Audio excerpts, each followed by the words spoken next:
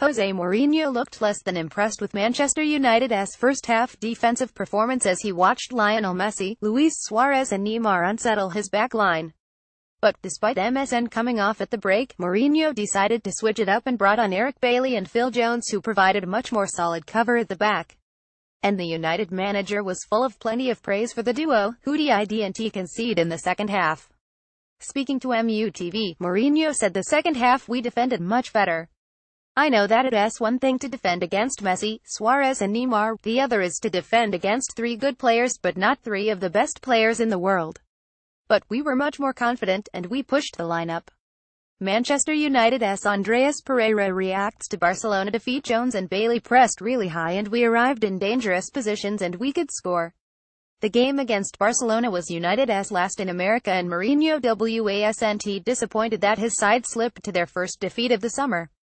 He explained I think it's very important it would be very bad for us to leave without a defeat playing against teams like Real Madrid, Barcelona and City. It would be very bad to just go back with victories, so the defeat is good. But, in the game we did some very good things and some bad things. The very good things are to keep and the bad things are not.